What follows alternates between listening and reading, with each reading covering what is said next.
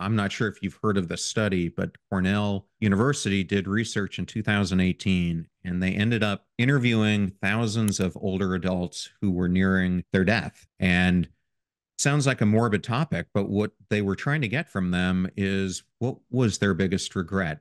And what struck me was 76% of them said that their biggest regret was that they didn't live their life trying to aspire to the dream that they had and to me, it resonates with this podcast because it's really a sense of if you're living your life like that, you're not living your unique purpose that you were placed on earth to fulfill. And therefore, yes. you're lacking in significance.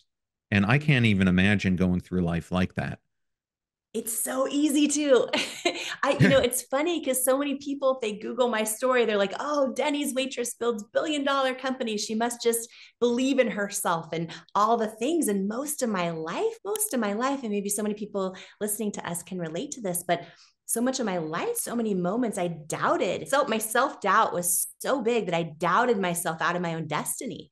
And I think if we're not careful, it's so easy to do that. We start showing up in rooms as only part of who we are. We almost start living our life in a way hiding in plain sight because we start to doubt who we are. And I don't know if you have this memory or not in your life or anyone listening, but I remember the first time as a little kid. I remember the first time as a little kid when I was in the classroom and I knew the answer, but I decided for the first time ever not to raise my hand and I remember that moment so profoundly the moment of just doubting all of a sudden, well, maybe I'm going to get it wrong. Maybe I don't know the, maybe I'll be judged. Maybe I'll get made fun of.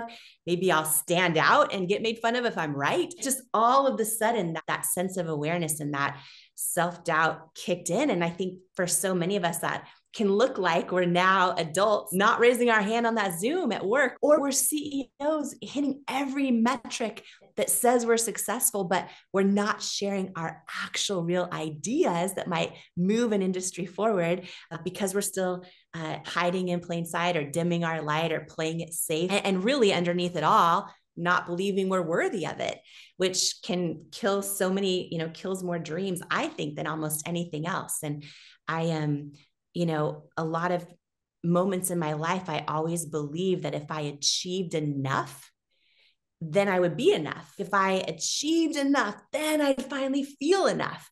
And I spent decades of my life, uh, and one decade in particular, 100 hour weeks, just achieving every possible metric of what the world tells me success looks like, only to arrive still feeling like it wasn't enough.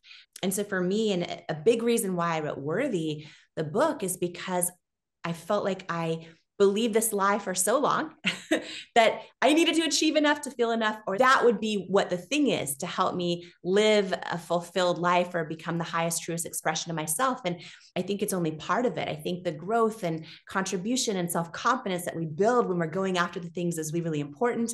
But if we don't also, underneath it all, and I love how powerfully you talk about this, but if also underneath it all, we aren't living in alignment with who we truly are and actually have self worth underneath all of it we never arrive at fulfillment. And, and i've just i've had that experience now even in moments in my life after achieving so many things and after building this billion dollar business and selling it and all the things that and i remember realizing a huge moment in my life where i realized i have a lot of self-confidence but i don't have a lot of self-worth. And they're very different. And when we don't underneath it all I believe we're worthy of things oh my gosh it impacts the way we sabotage or don't go after things in our career, our relationships, our friendships, our goals and hopes and dreams.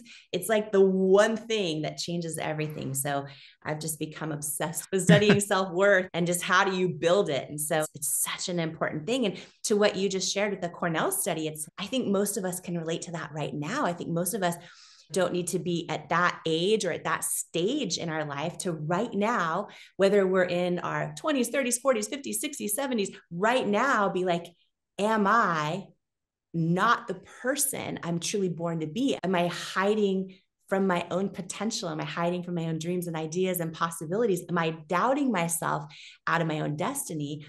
And I think that the beautiful thing, and another big reason why I wrote Worthy the book, is because it is not too late It is never too late. We are never too old. It does not matter what past mistakes you've made.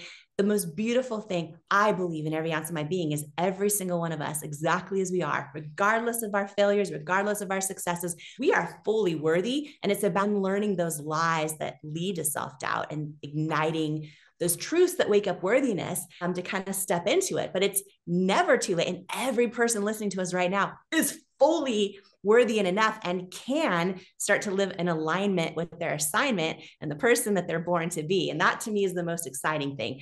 And I'm excited about Worthy, the book. I am excited about Passion Struck, the book. The time for change has come because it is so many of us just have gone way too many years and maybe ha- have are just starting to realize what has self-doubt already cost me in my life and for so many of us the answer is like way too much. So but the good news is we can change it. So and just to honor the work you're putting out in the world as a force for that as well